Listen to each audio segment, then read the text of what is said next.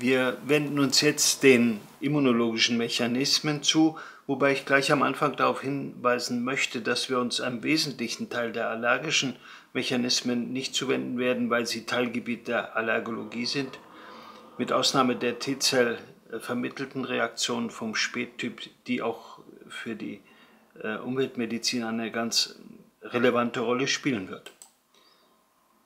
Zunächst einmal hier dargestellt die unspezifische Immunreaktion, die nicht über genetische Kodierung beeinflusst ist. Das heißt, solche unspezifischen Immunreaktionen können jedermann unabhängig von der genetischen Konditionierung widerfahren und es können Infektionen gleichermaßen wie Umweltnoxen solche Prozesse auslösen.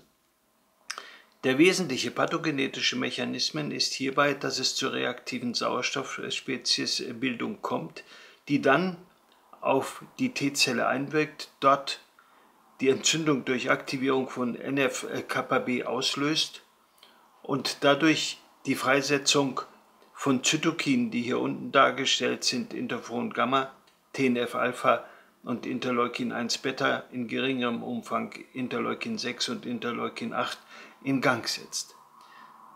Der wesentliche unterscheidende Punkt ist, dass es sich um keinen spezifischen Prozess handelt, um keinen Prozess, bei der die Zelle sensibilisiert wird, sondern bei der ausschließlich Entzündungsbotenstoffe freigesetzt werden. Interferon Gamma hat die größte Bedeutung unter diesen Stoffen und Schon 2001 hatte Reut in seinem Lehrbuch Immunologie geschrieben, dass Interferon Gamma die Zelle gegenüber intrazellulären Pathogenen anormal empfindlich macht. Das heißt, in dem Moment, in dem Stoffe in die Zelle hineinkommen und Interferon Gamma freigesetzt ist, kommt es zu einer pathogenen Auseinandersetzung mit diesen Stoffen. Wir werden nicht sehr über Membranen in diesem Zusammenhang reden, das ist ein eigenes Thema, aber ich darf an dieser Stelle ergänzen, dass die Umweltschadstoffe ganz wesentlich dazu beitragen, dass Membransysteme durchgängig werden, dass Umweltschadstoffe in Zellen leichter eindringen können und dass diese Stoffe, die eingedrungen sind, dann natürlich solche Mechanismen leicht freisetzen können. Es war einer aus unserem eigenen Berufsverband, der auch als Dozent in diesem Studiengang auftritt, Frank Bartram, der als erster herausfand, welche zentrale Rolle Interferon Gamma für die Entwicklung der Symptomatik von MCS-Patienten spielt. Und es ist hier auf der rechten Seite dargestellt, dass diese Patienten mit MCS von Haus aus einen sehr viel höheren Pegel von Interferon Gamma aufweisen, der hier dargestellt ist. Hier ist er bei einer nicht erkrankten äh, Kontrollgruppe untersucht. Das ist der Pegel hier. Und das ist der Interferon-Gamma-Pegel, der gemessen wurde in der untersuchten Gruppe nach Exposition äh, gegenüber den Schadstoffen. Das heißt, diese Patienten leben unter einem dauernden entzündlichen Prozess, der durch Interferon-Gamma sehr geprägt ist. Der Pegel ist in Ruhe bereits hoch und er wird durch Exposition noch weiter hinaufgetrieben. Interessant ist auch, was das diesen Prozess kontrollierende Interleukin 10 ausmacht, denn in der gleichen Untersuchung konnte gezeigt werden, dass der Gesunde einen deutlich höheren kontrollierenden Interleukin 10 Pegel zur Verfügung hat, dass Patienten, die an MCS leiden, von Haus aus weniger Interleukin 10 haben und dass Patienten nach Belastung nur geringfügig diesen Interleukin 10 Pegel erhöhen. Schon daraus kann abgeleitet werden, dass es keine atopische Erkrankung ist, denn Interleukin 10 findet man bei den Atopikern eigentlich hoch. Und es konnte abgeleitet werden, dass es eine entzündliche Erkrankung ist, bei der Interferon Gamma eine große Rolle spielt. Obwohl diese Grundlagenkenntnisse seit langem bekannt sind, wird dennoch MCS bis zum heutigen Tag als eine somatoforme Störung von den meisten Gutachtern dargestellt. Hier habe ich Ergebnisse aus eigenen Untersuchungen dargestellt und es handelt sich um eine Person, die auf den Weichmacher äh, der äh, Phthalate reagiert und wir sehen, dass bei Exposition gegenüber diesen Phthalaten Interferon Gamma, die rote Kolumne hier stellt Interferon Gamma dar, erheblich freisetzt. Zur Kontrolle bei der gleichen Person die Reaktion auf ein Influenza-Antigen und da sehen wir, dass der Entzündungsprozess, der unspezifische Entzündungsprozess ohne Interleukin-2-Beteiligung, dass der deutlich stärker ausfällt bei dieser Person als die entzündliche Reaktion gegenüber Influenza-Antigen. Hier unten sehen wir eine gesunde Kontrolle, gute immunologische Reaktion gegen Influenza-Antigen, überhaupt keine Immunreaktion gegenüber den Phthalaten diese Person würde unter diesem äh, Weichmacher-Schadstoff nicht besonders leiden. Nun einige Beispiele solcher entzündlicher Reaktionen und ich habe es hier dargestellt bei Toluol, ein Bestandteil der Lösemittel, hier das in den 60er bis Mitte der 80er Jahren in erheblichem Umfang in Deutschland auch in Innenräumen eingesetzte Pentachlorphenol und wir sehen massive Entzündungsreaktionen, die über das Ausmaß der Interleukin-10-Freisetzung nicht mehr kontrolliert werden. Selbst Titan löst bei dieser, äh, bei dieser Patientin eine deutlich entzündliche Reaktion über Interferon Gamma aus und hier die später in der Folge des Pentachlorphenols verwendeten Pyrethroide, die man über lange Zeit so harmlos äh, dargestellt hat. Hier nun die Darstellung der spezifischen Immunreaktion. Und was bedeutet spezifisch? Es bedeutet, dass es zu einer Proliferation kommt, zu einer T-Zell-Proliferation bei gleichzeitig stattfindender Entzündung. Wie läuft dieser Prozess ab? Er ist anders als der vorhin dargestellte unspezifische Prozess über das MHC2 Major Histocompatibility äh, Complex restringiert. Das heißt, hier bestehen erhöhte Bereitschaften bei einzelnen Menschen und andere haben geringe. Wir benötigen hierzu eine Proteinstruktur oder eine Struktur, die im Körper an ein Protein gebunden wird. In diesem Fall sprechen wir von dem Antigen von einem Hapten und nicht von einem Vollantigen. Proteine sind für sich bereits Vollantigene. Diese Strukturen werden gegenüber Antigen präsentierenden Zellen äh, präsentiert. Diese Zelle nimmt es auf, präsentiert das Ganze über die Kodierung des Major Histocompatibility Komplex, dem T-Zell-Rezeptor. Und dies führt wieder über Freisetzung von diesem Interleukin 2 zu einem Klonen dieser T-Zellen. Der dann einsetzende entzündliche Prozess hat durchaus Ähnlichkeit zu dem unspezifischen. Auch hier spielt NFKB eine bedeutsame Rolle. Aber diese Zelle kennt von diesem Moment ab diesen Gegner, mit dem es zu tun hat. Und diese Zelle wird nur in diesem Fall reagieren. Und nur wenn Identität zu dieser Struktur besteht, kommt es zu diesem entzündlichen Prozess. Der entscheidende Zytokin-Unterschied ist in diesem Fall die Beteiligung von Interleukin 2, die bei diesem Prozess keine entscheidende Rolle spielt. Auf diesem Bild habe ich dargestellt, das T-Helferzell 1 und T-Helferzell 2 Zellsystem. Die Situation ist inzwischen etwas komplexer geworden als hier dargestellt, aber ich denke, für das Grundverständnis reicht es. Beide stammen von der TH0-Zelle ab. Dieses System sollten wir in einer ausgewogenen Funktion haben, wenn wir keine besonderen Krankheitsmerkmale aufweisen. Und ich habe in den jeweiligen Kolumnen an den Seiten die wesentlichen Zytokine dieser Systeme dargestellt. Sie sind noch komplexer geworden ist. Die Zahl ist noch größer. Ich denke, wir sind auch nicht am Ende. Aber es soll zeigen, dass die einzelnen Seiten durch ihre speziellen Zytokine geprägt sind. Eine solche, ein solches System soll passagier eine Dysbalance erreichen. Nehmen wir an, ein grippaler Infekt tritt ein, dann ist gewünscht, dass das Gewicht sich auf diese Seite verlagert, dass dieses System abwehrend äh, aktiv wird und dass dann, wenn der Prozess überwunden ist, das System wieder in diese Balance zurückgeht. Liegt ein Parasit vor, liegt eine Wurmerkrankung vor, wünschen wir, dass das Gewicht auf diese Seite sich legt, weil dieses System sich sehr gut eignet, sich der Parasiten zu entledigen. Interleukin 4 wird freigesetzt, Interleukin 10. Es kommt zur Bildung von Histamin in den Mastzellen. Diese setzen es frei die Histamin und histaminartigen Substanzen sind toxisch und giftig für die Würmer. Sie beschädigen sie, sie zerstören sie und töten sie ab. Und schließlich steigert es die Mukusbildung, dort wird es eingebunden und ausgeschieden. Also bedarfsweise sind Dysbalancen gewünscht, um bestimmten Aufgaben nachzugehen. Schwierig wird es, wenn es zu einer Verlagerung der einzelnen Immunleistungen auf Dauer zu einer Seite kommt. Und hier haben wir eine solche Verlagerung durch chronische Inflammationen, die durch chronische Infektionen ausgelöst sein kann, Inflammation mit T-Zellvermehrung und Proliferation durch Noxen oder T-Zell-mediierte Autoimmunität, die auch in diese Gruppe gehört.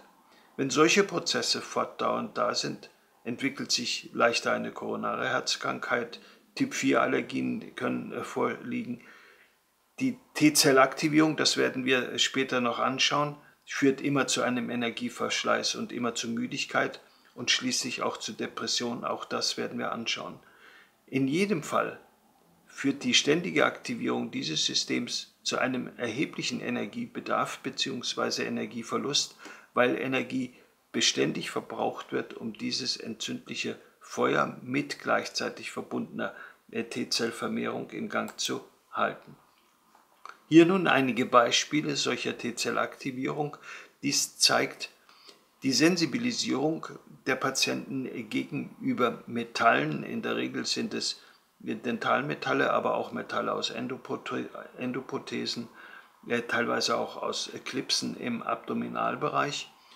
Und wir sehen die Rate der Sensibilisierung gegen solche, gegenüber solchen inkorporierten äh, Metallen in der hinteren Säule vor der Durchführung einer Behandlung. Die Fallzahl lag bei 124. Unten sind aufgelistet die einzelnen Metalle und hier die, äh, die Höhen der Stimulation von Lymphozyten gegenüber diesen Metallen. Was bedeutet Stimulation von Lymphozyten? Wir wissen, dass bei einer Sensibilisierung der T-Zellen, wie wir es zuvor angesehen haben, äh, die Lymphozyten sich im Reagenzglas durch Zugabe des auslösenden Antigens äh, stimulieren lassen und sich sehr vermehren. Diese Stimulationsindizes geben an, in welchem Umfang das ist und welche Fallzahl betroffen war. Beseitigen wir den Auslöser, kommt es zu einer Rückbildung der Aktivierung von T-Lymphozyten und wir sehen das hier in der vorderen Kurve. Äh, fast alle sind normal gewesen, nur wenige waren nach einem Jahr nach Entfernung der Metalle noch nicht ganz in den physiologischen Bereich abgesunken. Herausragte damals bei dieser Erhebung, die ich vor etwa 15 Jahren gemacht hatte, äh, herausragte damals Nickel. Der Hintergrund war, dass diesem alltäglich vorkommenden Nickel nicht so gut aus dem Weg zu gehen war, dass es in der Nahrung enthalten war. Dies haben wir in den heutigen Empfehlungen besser berücksichtigt, sodass wir auch bei Nickel einen deutlich besseren Rückgang erzielen können als in der damaligen äh, Studie. Nickel, eine Reaktionsfreiheit in der Regel nicht, weil doch geringe Mengen beim Essen gehen, beim Essen in, von Nahrung aus Großküchen nicht wirklich verzichtet werden kann und so eine Restsensibilisierung bleibt. Entscheidend war, dass die Beendigung der Exposition in diesen Fällen bereits zu einer weitgehenden Normalisierung dieser Stimulationsindizes geführt hat. Bis heute wird trotz einer, über, äh, einer erdrückenden Datenlage dieser Test in seiner, äh, in seiner Nützlichkeit angezweifelt. Ich hatte damals meine Fälle im Rahmen einer Gesamtstudie eingebracht und es waren europaweit dreieinhalbtausend Fälle zusammengetragen. Die Resultate waren von allen Autoren gleich. Es eignet sich der LTT ausgezeichnet, um eine T-Zell vermittelte Sensibilisierung gegenüber den Metallen nachzuweisen. Die Schleimhäute stellen eine besondere Problematik dar und immer wenn wir solche Ergebnisse erzielen, wird gefordert, dass an der Schleimhaut etwas äh, gesehen werden müsse, wenn es von dentalen Materialien ausgeht. Und diese Vorstellung wird den tatsächlichen Ergebnissen der wissenschaftlichen Untersuchungen nicht gerecht. Es hat vor allen Dingen Nielsen und Klaschka hatten 1971 diese Problematik untersucht, weil sie versuchten, einen Epikutantest, wie wir ihn an der Haut bei Sensibilisierung äh, durch Fremdstoffe anwenden, eine Form des Epikutantestes auch an Schleimhäuten zu etablieren. Es gelang nicht. aus methodischen Gründen und sie fanden damals heraus, dass die Antigenkonzentration an Schleimhäuten deutlich höher sein muss, um eben das klinische Bild einer Kontaktreaktion auszulösen. Es gibt gelegentlich Ausnahmen und so habe ich eine hier dargestellt. Wenn eben eine Metallplatte dauerhaft dem Gaumen anliegt, dann kann es tatsächlich auch mal zu einer solchen äh, Kontaktreaktion an einer Schleimhaut kommen, weil die Antigene nicht, ab, nicht schnell über den Speichel abtransportiert werden, sondern hier vor Ort bleiben. Das ist aber eigentlich eine Ausnahme. Die Epikutan-Testung eignet sich für die Testung von Schleimhautreaktionen nicht. Sie ist auch dafür gar nicht validiert. Sie ist validiert, um Reaktionen an der Haut zu klären, die durch Aufbringung von Substanzen auf die Haut tatsächlich ausgelöst sind. Wir wissen von den Arzneimittelallergien äh, gegenüber ge geschluckten und in Tablettenform genommenen Arzneimitteln, dass der Epikutan-Test praktisch außerstande ist, diesen Zusammenhang zu beweisen und dass der Lymphozyten-Transformationstest die entscheidende Methode ist. Hier nun ein Beispiel umfangreicher Sensibilisierung gegenüber einer ganzen Vielzahl von Umweltschadstoffen. Wir sehen hier Latex dargestellt, Pentachlorphenol, chlorierte Kohlenwasserstoffe, polychlorierte Biphenyle hier, das Permetrin, hier Phthalsäureanhydrid zu den äh, Phthalaten gehörend und hier nun eine ganze Reihe von Schimmelpilzen. Eine Person, die in dieser Form betroffen ist, findet in der heutig heutigen Welt praktisch keine passende Wohnmöglichkeit mehr.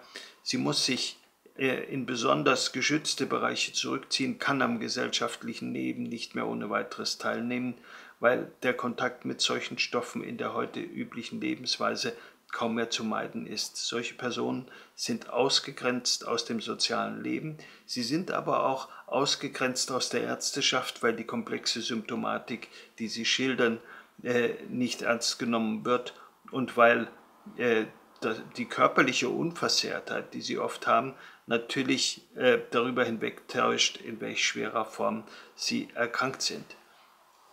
Diese Patienten mit hochgradigen Sensibilisierungen gehören zu den Erkrankten, die am schwersten erkrankt sind. Die Studie am Robert Koch Institut hat gezeigt, dass die hochgradige Sensibilisierung noch höher in den Auswirkungen einzuschätzen ist als die meisten Herzerkrankungen, auch als die allermeisten Tumorerkrankungen. Äh, der Schweregrad wird im Bereich der Rentenversicherung bis heute weit unterschätzt. Hier ein Beispiel aus der Zahnheilkunde, eine T-Zell vermittelte Sensibilisierung gegenüber dem wahrscheinlich am häufigsten in der Zahnheilkunde eingesetzten Methylmetacrylat mit einer doch deutlichen Stimulationssteigerung in dieser Testung. Die Borreliose bietet eine breite Diskussion des Themas, ob der Lymphozytentransformationstest geeignet ist, äh, die, äh, diese Krankheit nachzuweisen. Die Diskussion findet derzeit relativ unsachlich statt und die unterschiedlichen Meinungen ne, prallen heftig aufeinander und es wäre doch so wichtig, hier einen Konsens zu finden. Nach hm, Statement der Deutschen Borreliose-Gesellschaft eignet sich das Verfahren ausgezeichnet, um zu unterscheiden, ob eine Borreliose abgelaufen ist und wir serologische Narben äh, in den Antikörperuntersuchungen sehen oder ob sie behandlungsbedürftig ist. Wir müssen ja verstehen, dass die Behandlungsnotwendigkeit über Antikörper nur dann zu erkennen ist, wenn die Infektion frisch ist und IgM Antikörper produziert. Das tut sie aber nur über eine sehr kurze Zeit. Danach wechselt sie in IgG-Antikörper und die können nach durchlebter Erkrankung da sein, die können aber auch bei einer weiter fluoriden Erkrankung vorhanden sein. Wir haben also keinen Hinweis, wie wir als Ärzte entscheiden können. Jüngste Studien von Volker von Beer haben gezeigt, dass die Aktivierung der T-Zellen im, äh, und der Nachweis im Lymphozytentransformationstest ausgezeichnet in der Lage ist, diese Frage zu beantworten und die Behandlungsnotwendigkeit zu klären. Der Darm ist bisher in dieser Problematik praktisch nicht beachtet worden. Wir haben uns sehr mit den IgE vermittelten Sofortreaktionen am Darm beschäftigt und äh, den daraus resultierenden Nahrungsallergien, die eigentlich nicht schwer zu erkennen sind, weil sie so schnell nach Exposition auftreten, dass die meisten Patienten dies selber wissen wann der Moment gekommen ist, wenn sie etwas nicht vertragen. Sehr viel interessanter sind Reaktionen durch T-Zellen, die dann am Endothel ablaufen und eben Lücken in dieses Endothel einbringen können. Und wir sehen dann hier auf dieser Folie, was daraus wird, wenn solche Lücken im Endothel entstehen. Es, kann, es können plötzlich Keime des Darmlumens durchtreten.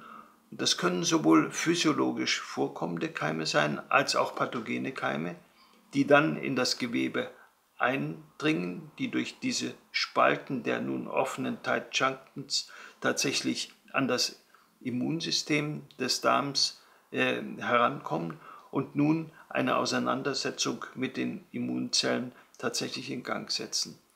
Wir sehen äh, in solchen Situationen, dass die eigene Darmflora invasiv werden kann und pathogenen Charakter bekommen kann, wir sehen, dass pathogene Keime eintreten können.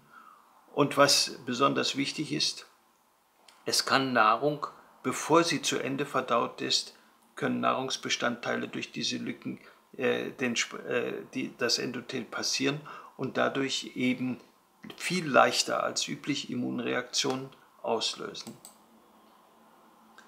Entsprechend sehen wir hier auch im Lymphozytentransformationstest Reaktion auf Nahrungsmittel. Und Sie sehen in der hinteren grünen Säule die Reaktion vor einer therapeutischen Maßnahme. Und die therapeutische Maßnahme ist die Eliminationsdiät, wenn Sie ein solches Ergebnis haben. Und das sind die Ergebnisse äh, ein Jahr nach einer konsequent durchgeführten Eliminationsdiät.